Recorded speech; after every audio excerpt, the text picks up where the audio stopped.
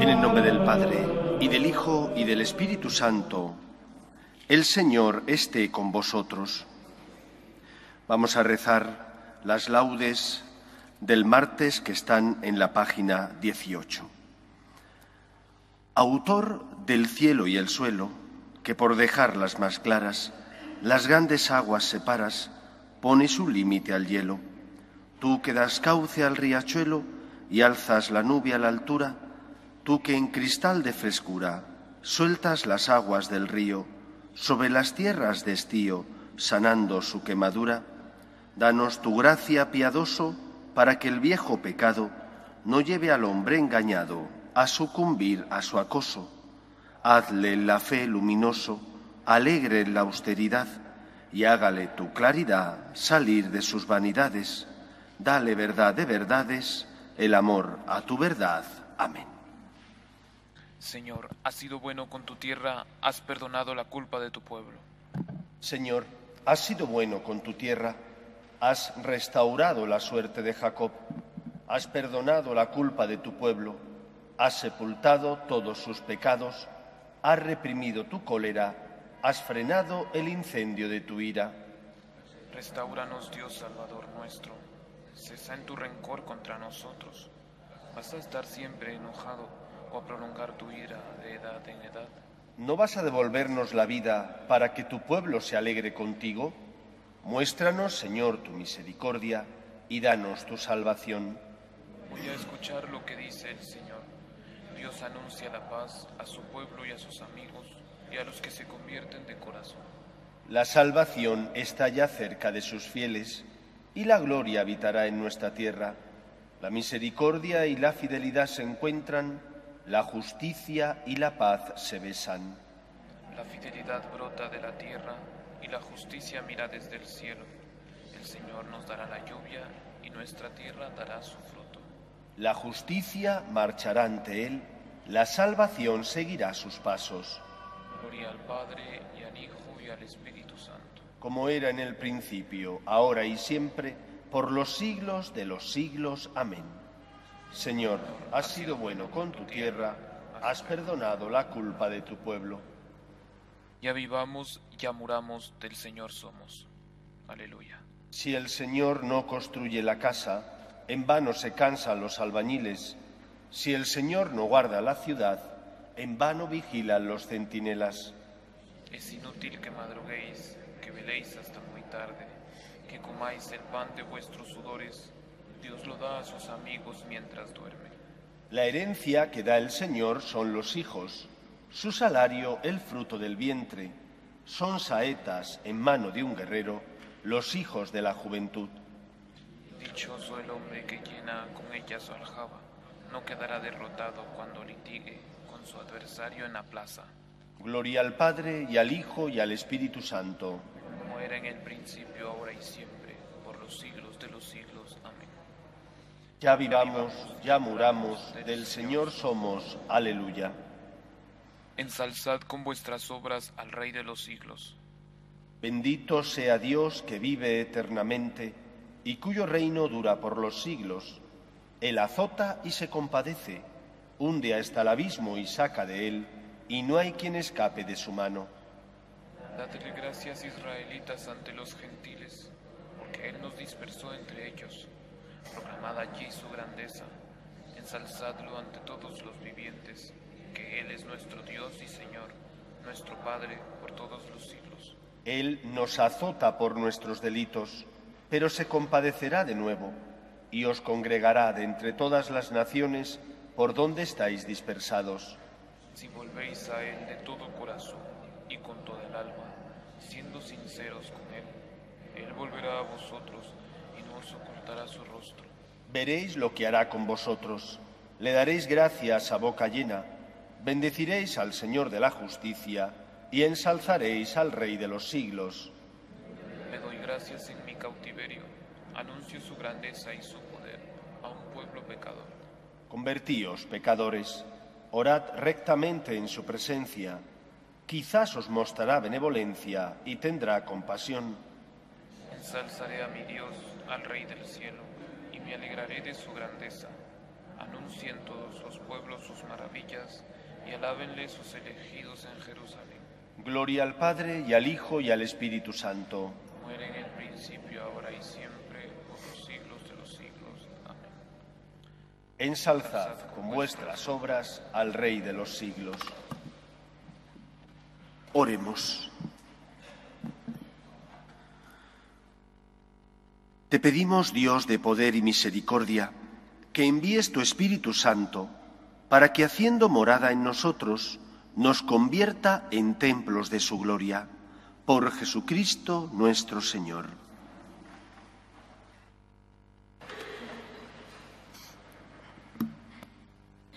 Lectura del libro de los Hechos de los Apóstoles. En aquellos días Pablo desde Mileto envió recado a Éfeso para que vinieran los presbíteros de la iglesia. Cuando se presentaron les dijo, vosotros habéis comprobado cómo he procedido con vosotros todo el tiempo que he estado aquí, desde el primer día en que puse el pie en Asia, sirviendo al Señor con toda humildad, con lágrimas y en medio de las pruebas que me sobrevinieron por las maquinaciones de los judíos. Como no he omitido por miedo nada de cuantos pudiera aprovechar, predicando y enseñando en público y en privado, dando solemne testimonio tanto a judíos como a griegos para que se convirtieran a Dios y creyeran en nuestro Señor Jesús. Y ahora, mirad, me dirijo a Jerusalén encadenado por el Espíritu. No sé lo que me pasará allí, salvo que el Espíritu Santo, de ciudad en ciudad, me da testimonio de que me aguardan cadenas y tribulaciones pero a mí no me importa la vida, sino completar mi carrera y consumar el ministerio que recibí del Señor Jesús, ser testigo del Evangelio de la gracia de Dios. Y ahora mirad, sé que ninguno de vosotros, entre quienes he pasado predicando el reino, volverá a ver mi rostro. Por eso testifico en el día de hoy que estoy limpio de la sangre de todos, pues no tuve miedo de anunciaros enteramente el plan de, Dios.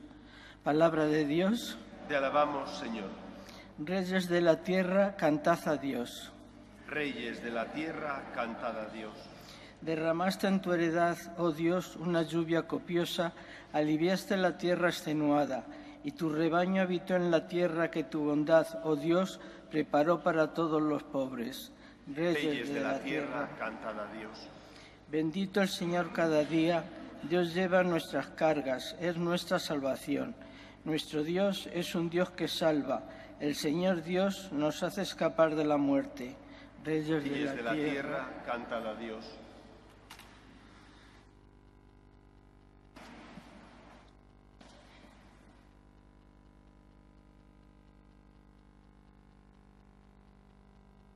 El Señor esté con vosotros.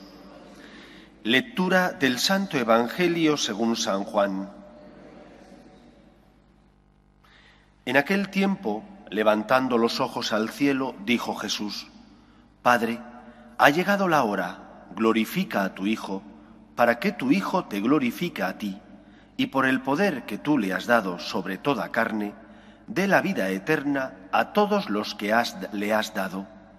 Esta es la vida eterna, que te conozcan a ti, único Dios verdadero, y a tu enviado Jesucristo. Yo te he glorificado sobre la tierra, he llevado a cabo la obra que me encomendaste.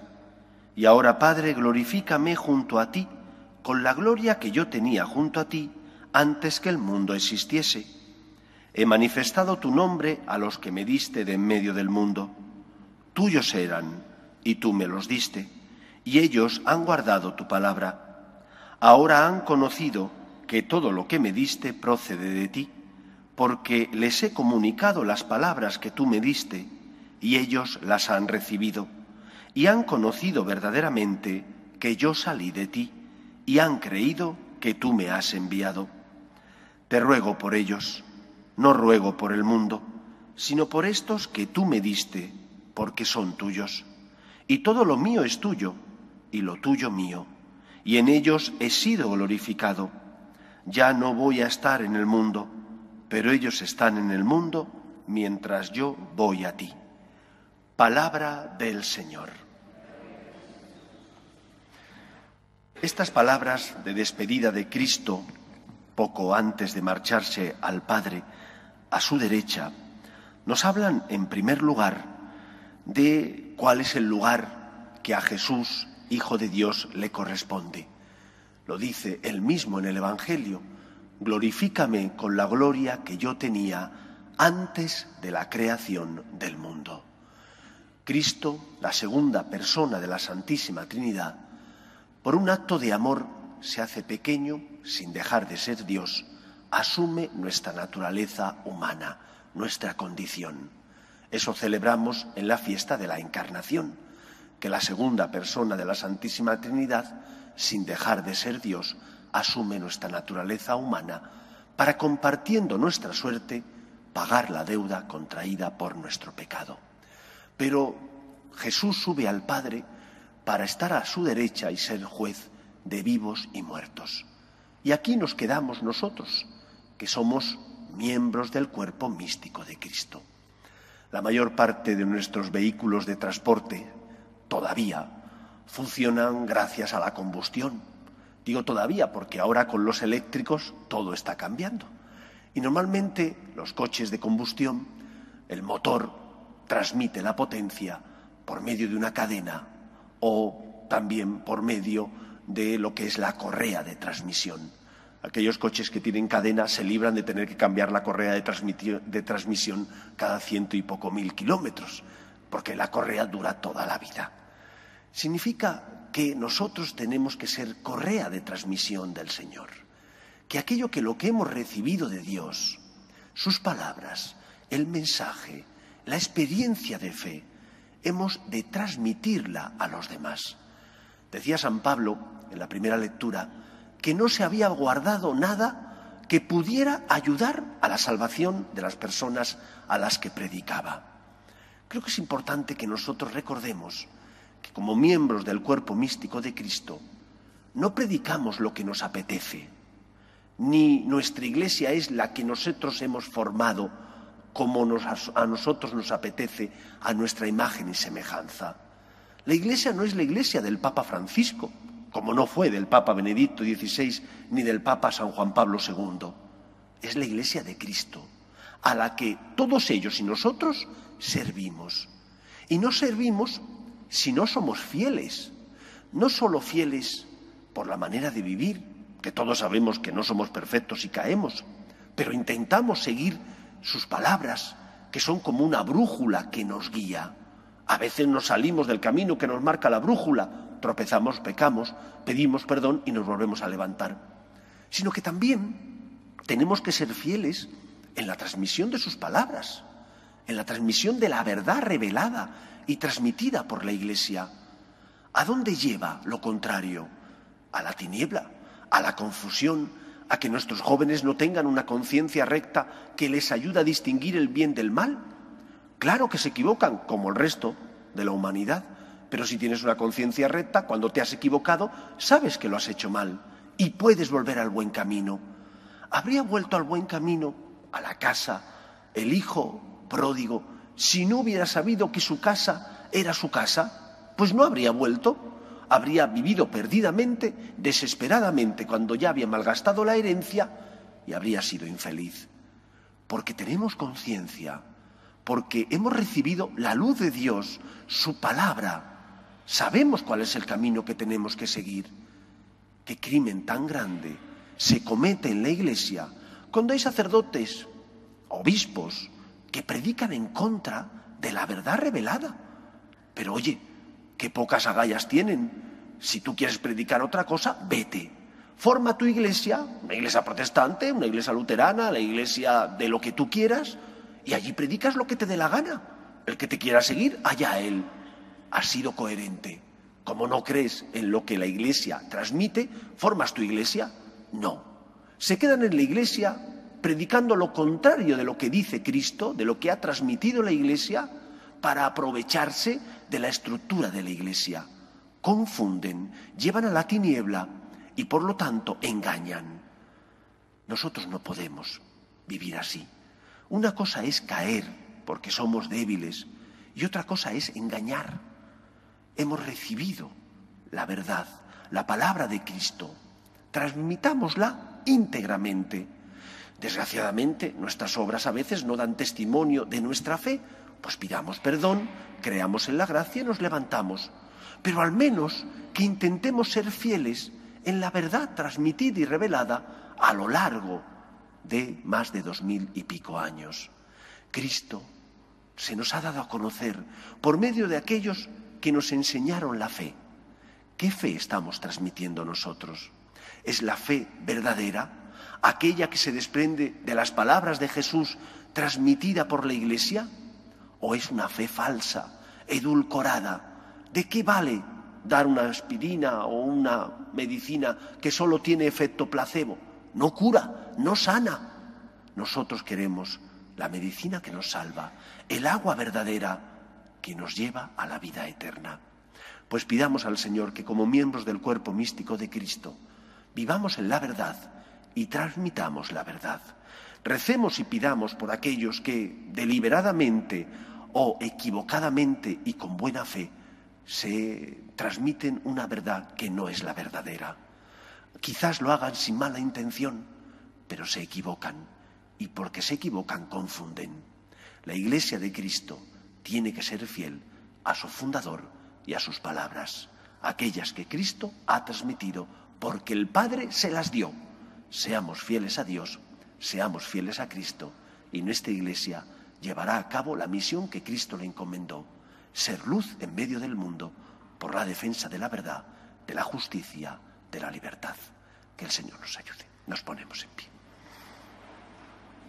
Oremos a Dios nuestro Padre. Pedimos por la Iglesia, para que sea luz en medio del mundo, roguemos al Señor. Pedimos también por la paz en el mundo, para que cese todo germen de violencia en nuestra sociedad, roguemos al Señor. Pedimos por los que sufren, especialmente por aquellos que no tienen fe y ante las cruces de la vida desesperan. Pedimos también por aquellos que son perseguidos por ser fieles a Cristo. Roguemos al Señor. Pedimos también por los que se han encomendado a nuestras oraciones. Roguemos al Señor. Escucha, Padre, las súplicas de tus hijos, que nos dirigimos a ti confiando en tu amor. Te lo pedimos por Jesucristo nuestro Señor.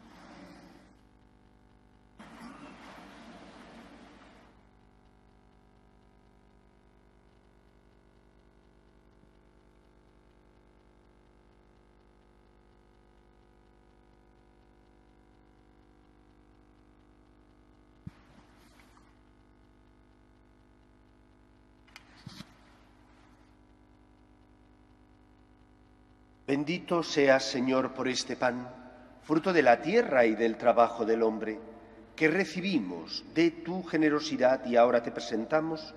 Él será para nosotros pan de vida.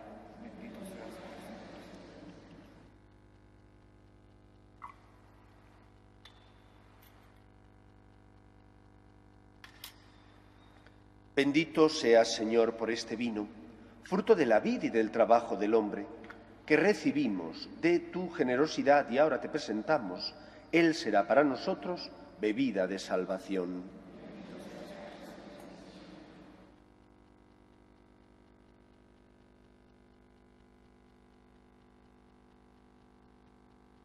Orad, hermanos, para que este sacrificio mío y vuestro sea agradable a Dios Padre Todopoderoso.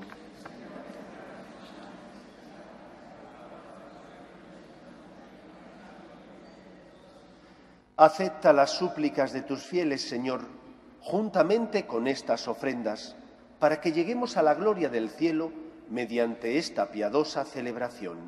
Por Jesucristo nuestro Señor. El Señor esté con vosotros. Levantemos el corazón. Demos gracias al Señor nuestro Dios. En verdad, es justo y necesario es nuestro deber y salvación darte gracias siempre y en todo lugar, Señor Padre Santo, Dios Todopoderoso y Eterno, por Cristo Señor nuestro, el cual, después de su resurrección, se apareció visiblemente a todos sus discípulos y ante sus ojos fue elevado al cielo para hacernos partícipes de su divinidad. Por eso, con esta efusión de gozo pascual, el mundo entero se desborda de alegría y también los coros celestiales, los ángeles y los arcángeles cantan sin cesar el himno de tu gloria. Santo, santo, santo es el Señor, Dios del universo. Llenos están el cielo y la tierra de tu gloria.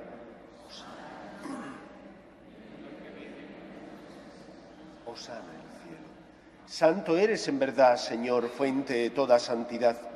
Por eso te pedimos que santifiques estos dones con la efusión de tu Espíritu, de manera que se conviertan para nosotros en el cuerpo y la sangre de Jesucristo nuestro Señor, el cual, cuando iba a ser entregado a su pasión, voluntariamente aceptada, tomó pan, dándote gracias lo partió y lo dio a sus discípulos, diciendo, Tomad y comed todos de él, porque esto es mi cuerpo, que será entregado por vosotros.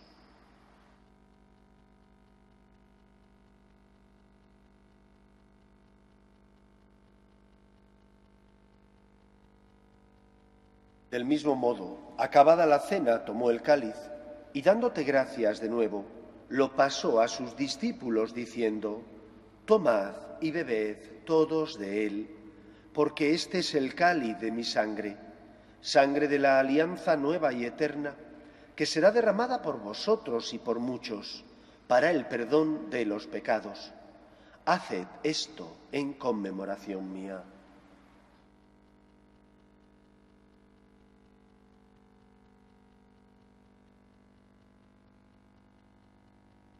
Este es el sacramento de nuestra fe.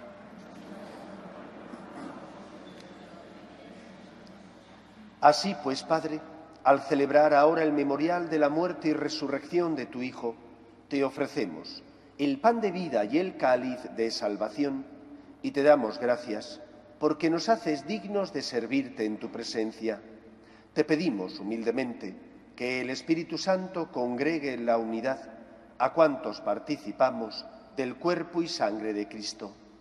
Acuérdate, Señor, de tu Iglesia, extendida por toda la tierra, y con el Papa Francisco, con nuestro Obispo Carlos y todos los pastores que cuidan de tu pueblo, llévala a su perfección por la caridad. Acuerde también de nuestros hermanos que durmieron en la esperanza de la resurrección, de tu Hijo Manolo y de todos los que han muerto en tu misericordia, admítelos a contemplar la luz de tu rostro. Ten misericordia de todos nosotros y con María la Virgen Madre de Dios, su esposo San José, los apóstoles, los mártires y cuantos vivieron en tu amistad a través de los tiempos, merezcamos, por tu Hijo Jesucristo, compartir la vida eterna y cantar tus alabanzas. Por Cristo, con Él y en Él, a ti, Dios Padre Omnipotente, en la unidad del Espíritu Santo, todo honor y toda gloria por los siglos de los siglos. Fieles a la recomendación del Salvador y siguiendo su divina enseñanza, nos atrevemos a decir, Padre nuestro que estás en el cielo, santificado sea tu nombre, venga a nosotros tu reino, hágase tu voluntad en la tierra como en el cielo. Danos hoy nuestro pan de cada día. Perdona nuestras ofensas, como también nosotros perdonamos a los que nos ofenden. No nos dejes caer en la tentación y líbranos del mal. Líbranos de todos los males, Señor, y concédenos la paz en nuestros días, para que, ayudados por tu misericordia, vivamos siempre libres de pecado y protegidos de toda perturbación mientras esperamos la gloriosa venida de nuestro Salvador Jesucristo. Señor Jesucristo, que dijiste a tus apóstoles, la paz os dejo, mi paz os doy. No tengas en cuenta nuestros pecados, sino la fe de tu Iglesia, y conforme a tu palabra concédele la paz y la unidad. Tú que vives y reinas por los siglos de los siglos, la paz del Señor esté siempre con vosotros. Daos fraternalmente la paz.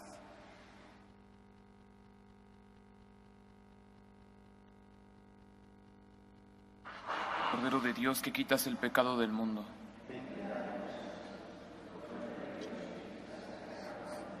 Ten piedad de nosotros. Dios que quitas el pecado del mundo, danos la paz.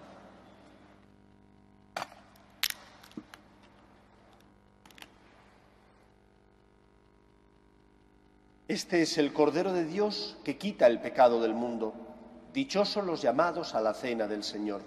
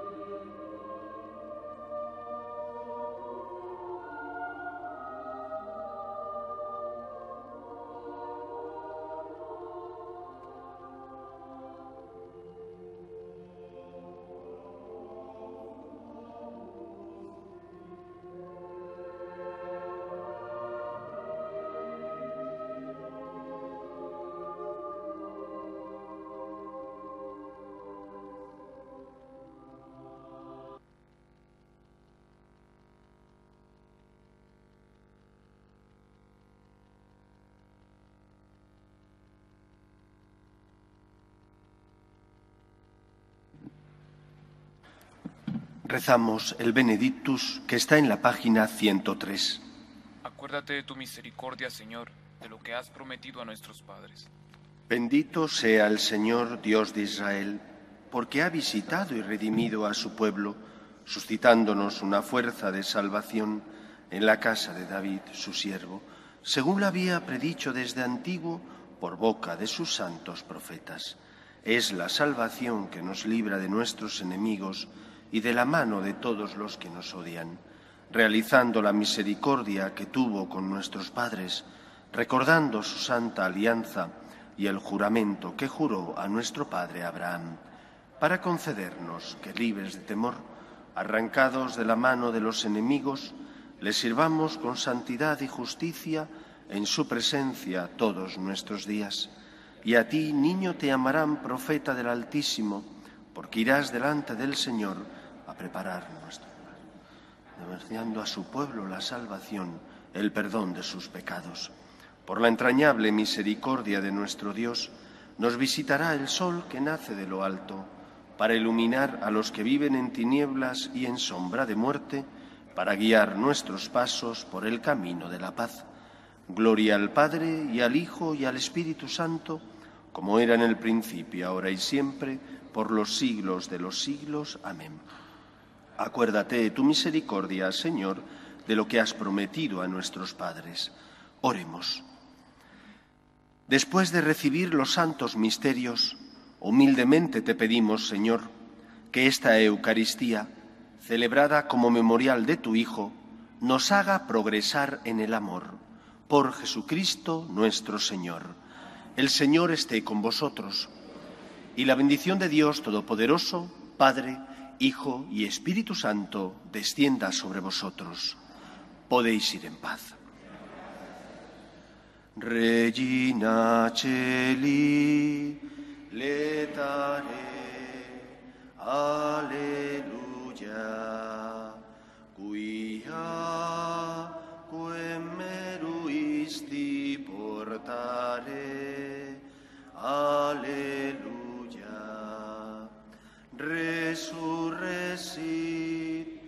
dixi cu dixi. Alleluia.